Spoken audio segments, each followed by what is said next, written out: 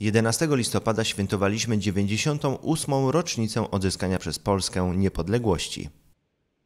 Obchody w Oświęcimiu zainaugurowano złożeniem kwiatów przed ścianą śmierci w byłym niemieckim obozie koncentracyjnym Auschwitz, a w sanktuarium Matki Bożej Wspomożenia Wiernych odbyła się msza święta w intencji ojczyzny oraz wspólne śpiewanie pieśni patriotycznych.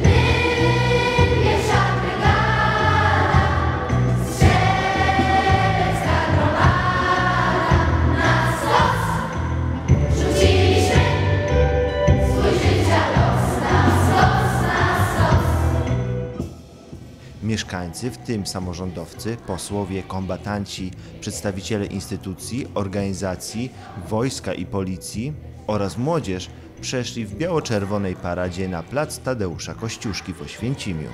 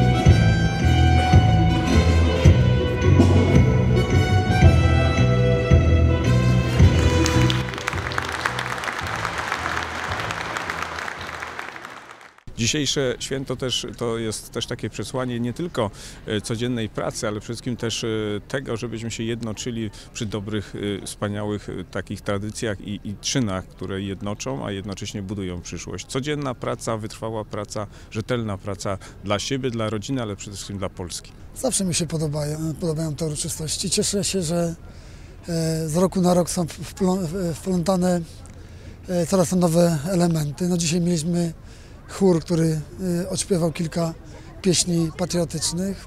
Pogoda dopisała. Ludzie, e, przede wszystkim mieszkańcy Oświęcimia dopisali. Także pamiętają o tym święcie. Cieszymy się, że, że mamy niepodległą Polskę od 98 lat. to, że y, jesteśmy dumnym narodem, musimy się jednoczyć, musimy czuć swoją wartość, swoje znaczenie nie tylko y, w Polsce, w Europie, ale i na świecie. Myślę, że jest to naród, którego stać na to, by być wiodącym narodem Europy i z tego musimy być dumni, ale to osiągniemy nie przez, e, powiedziałbym, takie czyny, zrywy, a taką wytrwałą, rzetelną, solidną pracą, nauką. To, żeby zbudować mocną Polskę, potrzeba mocnego narodu, mocnego państwa przede wszystkim, państwa, które też pomaga mieszkańcom, pomaga, pomaga Polakom i jest taką, taką ostoją e, dla zwykłego obywatela. W programie uroczystości znalazło się też kilka imprez towarzyszących. Na bulwarach nad Sołą zorganizowano pokaz musztry konnej, władania lancą i szablą w wykonaniu szwadronu kawalerii imienia rotmistrza Witolda Pileckiego. W Narodowe Święto Niepodległości tradycyjnie już zorganizowano też bieg 11 na 11 listopada.